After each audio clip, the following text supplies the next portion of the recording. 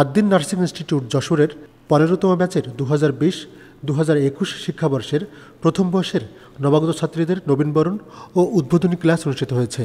দশ নভেম্বর দু হাজার একুশ তারিখ, বুধবার আদ্দিন সকিন উইমেন্স মেডিকেল কলেজের অডিটোরিয়ামে নবীন এবং নিয়মিত ছাত্রীদের নিয়ে আলোচনা সভা ও সাংস্কৃতিক অনুষ্ঠানটির আয়োজন করা হয়। অনুষ্ঠানটিতে সভাপতিত্ব করেন Ad-din women's institute of medical টেকনোলজির অধ্যক্ষ ডাক্তার মোহাম্মদ মুশিউর রহমান। এতে প্রধান অতিথি ছিলেন আদ্দিন সকিন উইমেন্স মেডিকেল কলেজের অধ্যক্ষ অধ্যাপক ডাক্তার মোহাম্মদ কামাল উদ্দিন। আলোচনায় অংশ নিয়ে নবীন শিক্ষার্থীদের নিজেদের পেশাকে সম্মান করতে শিখতে হবে বলে মত দেন আদ্দিন নার্সিং ইনস্টিটিউটের নার্সিং ইন্সট্রাক্টর মোসাম্মদ তারা বানু তিনি আরও বলেন, বিশ্বের সেরা পেশা হচ্ছে নার্সিং পেশা, ছাত্রীদের নিজেকে আদর্শবান সেবিকা হিসেবে গড়ে তোলার আহ্বান জানান তিনি। তোমাদের নিজেদেরকে গড়ে তুলতে হবে একজন আদর্শবান সেবিকা হিসেবে।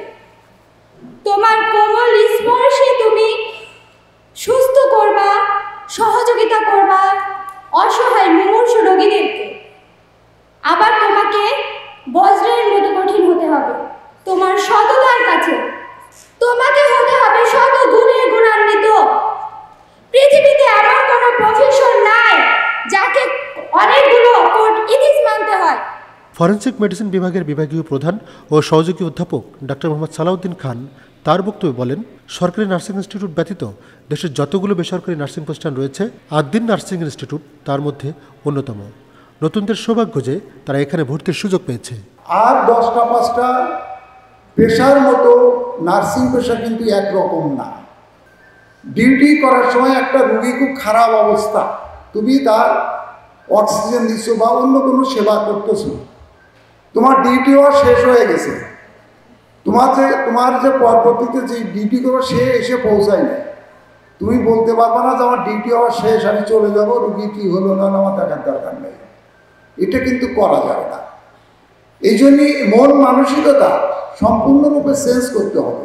অনুষ্ঠানে বিশেষ অতিথির বক্তব্য রাখেন আদ্দিন ওয়েলফেয়ার সেন্টারের পরিচালক মোহাম্মদ ফজলুল হক। তিনি বলেন, আদ্দিন ফাউন্ডেশনের নির্বাহী পরিচালক ডাক্তার শেখ মহিউদ্দিন চিকিৎসা স্বাস্থ্য, শিক্ষা এবং নার্সিং সহ বিভিন্ন সেক্টরে বিপুল পরিমাণ অর্থ বিনিয়োগ করেছেন মানুষের সেবার উদ্দেশ্য নিয়ে। আমরা চাই আমাদের প্রতিষ্ঠান থেকে ভালো মানের ডাক্তার, নার্স এবং টেকনোলজিস্ট তৈরি হোক, যারা দেশ এবং বিদেশেও মানুষকে সেবা দানে গুরুত্বপূর্ণ অবদান রাখবে।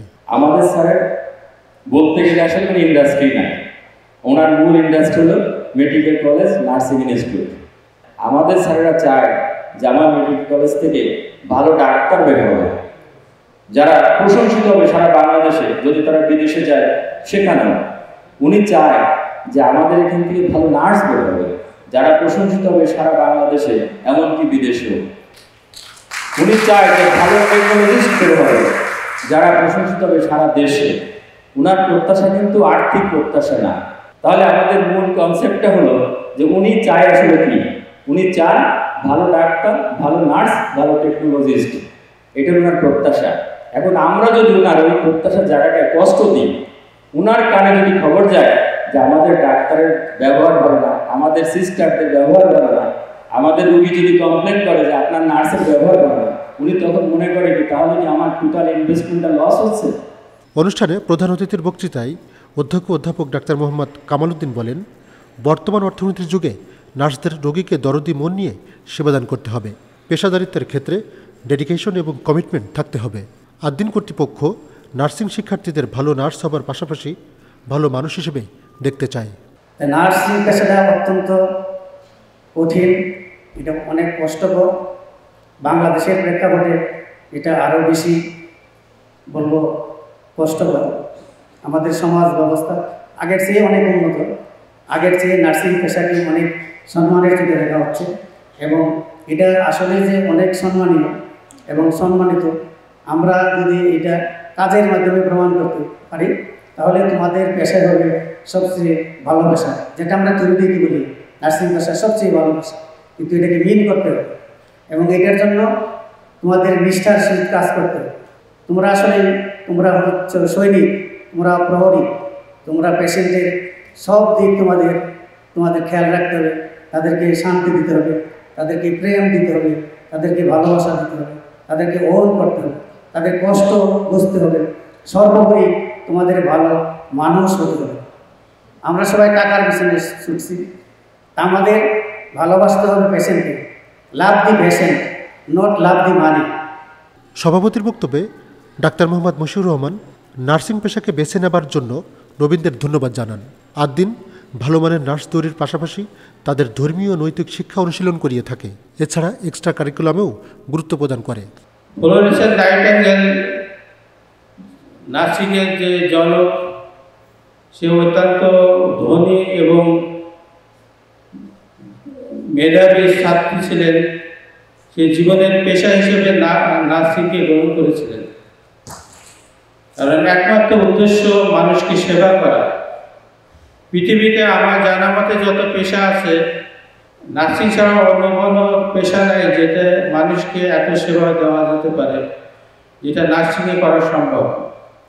রুগীর পাশে ডাক্তার থাকে কয়েক মিনিট, শুধু কি অসুখ, অসুবিধে তার রোগ ডায়াগনোসিস করে ওষুধ দিয়ে দেয়। কিন্তু রুগীর পাশে থেকে রুগীকে সেবা দিয়ে, রুগীকে ভালোবাসা দিয়ে, রুগীকে সারাই তোলার দায়িত্ব হচ্ছে নার্স।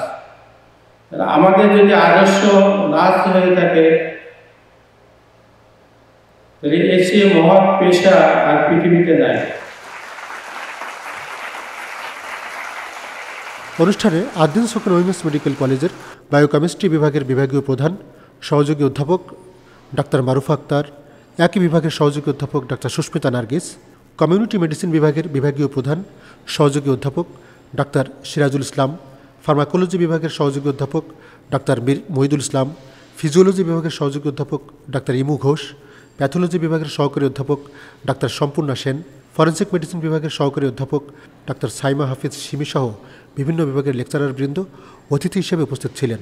এছাড়া আদ্দিন নার্সিং ইনস্টিটিউটের নার্সিং ইন্সট্রাক্টর অর্পিতা রহমান, নাসরিন আক্তার, রওশনারা পারভিন, সুমি খাতুন, সারারা খাতুন কাকলি খাতুন সহ অন্যান্য শিক্ষক শিক্ষিকাবৃন্দ এবং কর্মকর্তা কর্মচারীরা উপস্থিত ছিলেন। পবিত্র কোরআন থেকে তেলাওয়াত এবং গীতা পাঠ দিয়ে অনুষ্ঠান শুরু হয়। এরপর জাতীয় সংগীত দেশত্ববোধক গান, ইসলামী সংগীত আদ্দিন ফাউন্ডেশনের নির্বাহী পরিচালক ডাক্তার শেখ মহিউদ্দিন মহোদয় রচিত নার্সিং সেবা সংগীত পরিবেশন করে নার্সিং এবং মেডিকেল টেকনোলজির শিক্ষার্থীরা। পর্যায়ক্রমে ছাত্রীদের পরিচিতি পর্ব শেষে সভাপতি ও অতিথিবৃন্দের হাত থেকে ফুল গ্রহণ করে নবাগতরা। এরপর আলোচনা সভার মধ্য দিয়ে প্রথম পর্বের অনুষ্ঠান সম্পন্ন হয়। অনুষ্ঠান উপস্থাপনা করে ডিপ্লোমা তৃতীয় বর্ষের ছাত্রী শাহিনা ইসলাম ও ডিপ্লোমা দ্বিতীয় বর্ষের ছাত্রী নাজমিন নাহার বেলি। বিকেলে দ্বিতীয় পর্বে ছাত্রীদের পরিবেশনায় মনোজ্ঞ সাংস্কৃতিক অনুষ্ঠানের আয়োজন করা হয়। Tariqul Islam Tarek, news zone BD, Jessore.